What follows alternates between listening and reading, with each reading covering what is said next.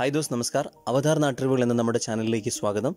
ഇരുപത്തിയഞ്ചിൽ പരം ചൂടൻ ലൈംഗിക രഹസ്യങ്ങൾ ജീവിതത്തിൽ പാലിക്കപ്പെടുകയാണെങ്കിൽ കാമം സുരതം രതിമൂർച്ച ലൈംഗിക സംതൃപ്തി ഒപ്പം മികച്ച കുടുംബജീവിതവും സുനിശ്ചിതം. ഈ വിഷയത്തെയാണ് ഈ സെഷനിൽ അഡ്രസ്സ് ചെയ്യുന്നത്. പ്രിയമുള്ളവരെ നിങ്ങൾ ദയവായി ഈ ചാനൽ സബ്സ്ക്രൈബ് ചെയ്ത് ബെൽ ഐക്കൺ ക്ലിക്ക് ചെയ്യുകയും മാക്സിമം ഷെയർ ചെയ്യുകയും അഭിപ്രായം എഴുതുകയും വേണമെന്ന് സ്നേഹപുരസരം വിനയപൂർവം താല്പര്യപ്പെടുകയാണ്. വൈവാഹിക ജീവിതത്തിൽ പാലിക്കപ്പെടേണ്ട ആ- ഇരുപത്തിയഞ്ച് അലിഖിത നിയമങ്ങൾ ഇനി അക്കമിട്ട് നിരത്തുകയാണ്. ഒന്ന് വൃത്തിയും ശുദ്ധിയും വളരെ അത്യാവശ്യമാണ്. കിടപ്പറയിൽ കയറുന്നതിന് മുമ്പ് ചെറു ചൂടുവെള്ളത്തിൽ കുളിക്കുന്നത് വളരെ നല്ലതാണ്. ഫ്രഷായ ശരീരത്തോടും മനസ്സോടും കൂടി കിടപ്പറയിൽ കയറാൻ കുളി സഹായിക്കും. വാ ബ്രഷ് ചെയ്യാതെ കിടപ്പറയിലേക്ക് ഒരിക്കലും പോകരുത്. രണ്ട് വസ്ത്രധാരണത്തിന് രതിയിൽ വളരെ പ്രാധാന്യമുണ്ട്. രാവിലെ മുതൽ അണിഞ്ഞിരുന്ന വസ്ത്രം ധരിച്ച് കിടപ്പറയിൽ കയറരുത്. വൃത്തിയുള്ള വസ്ത്രം മനോഹരമായി ധരിച്ച് കിടപ്പറയിൽ കയറാം. വൃത്തിഹീനമായ വസ്ത്രങ്ങൾ പരസ്പരം ആകർഷണീയത കുറയ്ക്കുന്നു. ഇഷ്ടവസ്ത്രം ധരിച്ചു നിൽക്കുന്ന സ്ത്രീ പുരുഷനെ ഉത്തേജിതനാക്കുകയും ചെയ്യുന്നു. മൂന്ന് അനാവശ്യ ചിന്തകളും ആദികളും വാതിൽക്കൽ ഉപേക്ഷിച്ചിട്ട് വേണം കിടപ്പറയിൽ കയറാൻ. കയറി കഴിഞ്ഞാൽ പിന്നെ രതിയെക്കുറിച്ചുള്ള ചിന്തകൾ മാത്രം മതി. നാല് ഭക്ഷണം കഴിഞ്ഞ് ഒരു മണിക്കൂറിന് ശേഷം മാത്രം രതിയിൽ ഏർപ്പെടുക. അല്ലാതെ വയറ് നിറയെ ഭക്ഷണം കഴിച്ച ഉടൻ തന്നെ ശാരീരിക ബന്ധത്തിൽ ഏർപ്പെടരുത്. അഞ്ച് മങ്ങി വെളിച്ചമാണ് എപ്പോഴും രതിക്ക് നല്ലത്. വെളിച്ചത്തിലോ ഇരുട്ടിലോ ബന്ധപ്പെടുന്നതിനേക്കാൾ അഭിനിവേശം മങ്ങിയ വെളിച്ചം തീർച്ചയായും സമ്മാനിക്കും. ആറ് സ്വന്തം ശരീരഭാഗങ്ങളെക്കുറിച്ചോ പെർഫോമൻസിനെ കുറിച്ചോ യാതൊരു അപകർഷതാബോധവും നാണക്കേടും ഉണ്ടാകേണ്ട കാര്യമില്ല. ഇടിഞ്ഞു തൂങ്ങിയ സ്ഥലങ്ങളോ ചെറിയ ലിംഗമോ ഒന്നും ലൈംഗികതയെ ബാധിക്കില്ല. ഒരു തരി പോലും രസം ചോർത്തുകയുമില്ല. ഏഴ് രതിയുടെ ആരംഭത്തിൽ തന്നെ പൂർണ നഗ്നരാവരുത്. ആവേശത്തിനനുസരിച്ച് ഓരോ ഘട്ടം ഘട്ടമായി പരസ്പരം വസ്ത്രം ഒന്നൊന്നായി ഒഴിവാക്കുന്നതാണ് ഏറ്റവും അഭികാമ്യം. അങ്ങനെ പതിയെ പൂർണ നഗ്നതയിലേക്ക് എത്തണം. എട്ട് എന്നും ഒരേ രീതിയിലുള്ള പൊസിഷന് പകരം വ്യത്യസ്തമായ നിലകൾ തിരഞ്ഞെടുക്കുക. പൊസിഷനുകൾ തിരഞ്ഞെടുക്കുമ്പോൾ രണ്ടുപേർക്കും ഒരുപോലെ ആയാസരഹിതമായതും ആത്മവിശ്വാസത്തോടെയും ഏർപ്പെടാൻ സഹായിക്കുന്ന നിലകൾ തിരഞ്ഞെടുക്കാൻ ശ്രമിക്കുക.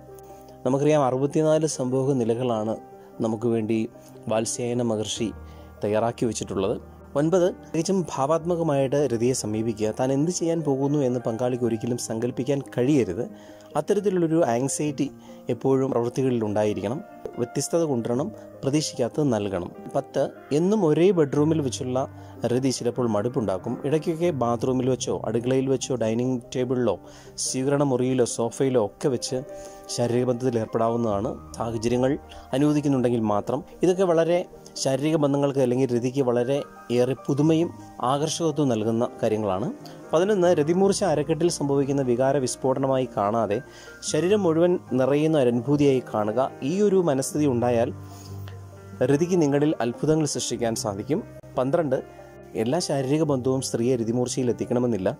സംയോഗം കൊണ്ട് ലഭിച്ചില്ലെങ്കിൽ ക്രിസിരി ഉത്തേജിപ്പിച്ച് സ്ത്രീയെ രതിമൂർച്ചയിൽ എത്തിക്കാവുന്നതാണ്. സ്ഥലങ്ങളെ ഉത്തേജിപ്പിച്ചുകൊണ്ട് മാത്രം ചില സ്ത്രീകളെ രതിമൂർച്ച എത്തിക്കാവുന്നതുമാണ്.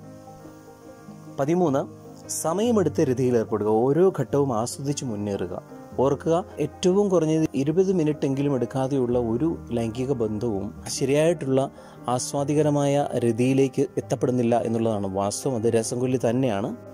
പതിനാല് സ്ത്രീയെ വികാരത്തിന്റെ പരകോടിയിൽ എത്തിക്കാൻ കഴിയുന്ന പ്രധാന ഭാഗങ്ങൾ യോനിതലങ്ങൾ ക്രിസ്തരി യോനി മുഖഭാഗങ്ങൾ സ്ഥലങ്ങൾ എന്നിവയാണ്. അവ എങ്ങനെ കൈകാര്യം ചെയ്യുന്നു എന്നുള്ളതിലാണ് ഓരോ ലൈംഗിക ബന്ധത്തിന്റെയും യഥാർത്ഥ വിജയം.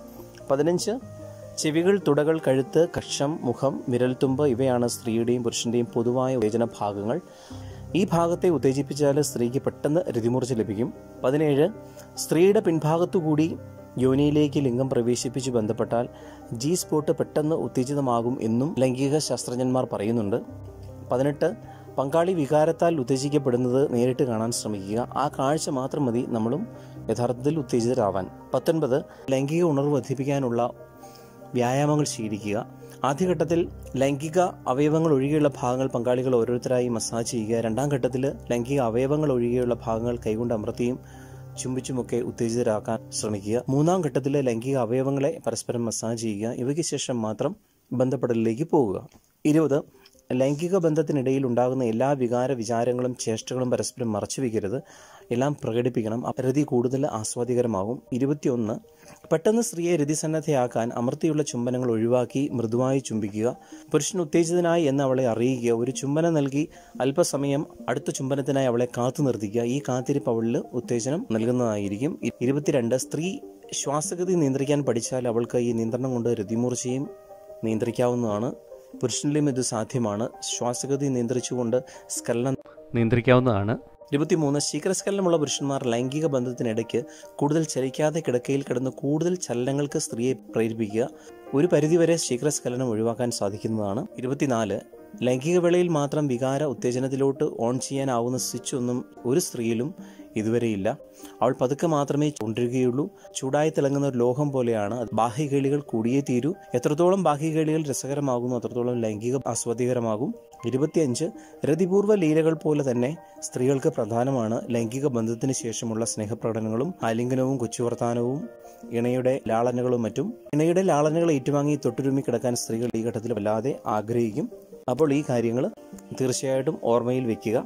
ഈ ഇരുപത്തിയഞ്ച് കാര്യങ്ങളാണ് യഥാർത്ഥത്തിൽ ഒരു ശരിയായുള്ള ശാരീരിക ബന്ധത്തിലേക്ക് നമ്മളെ നയിക്കാൻ സാധിക്കുന്ന പ്രധാനപ്പെട്ട മർമ്മഭാഗങ്ങൾ ഈ ഇരുപത്തിയഞ്ച് കാര്യങ്ങൾ നമ്മൾ നമ്മുടെ ജീവിതത്തിൽ പ്രാവർത്തികമാക്കുകയാണെങ്കിൽ അനിതര സാധാരണമായ സുഖവും സംതൃപ്തിയും ഇപ്പോൾ ഈ സെഷൻ ഏവർക്കും ഉപകാരപ്പെടുമെന്ന് കരുതുന്നു. നിങ്ങളുടെ ഹൃദയം നിറഞ്ഞ സപ്പോർട്ടിന് നന്ദി. ഈ വീഡിയോ മാക്സിമം ഷെയർ ചെയ്യാൻ അപേക്ഷ. ശുക്രിയ. ഫിർമില്ലെങ്കിൽ ബൈ ബൈ.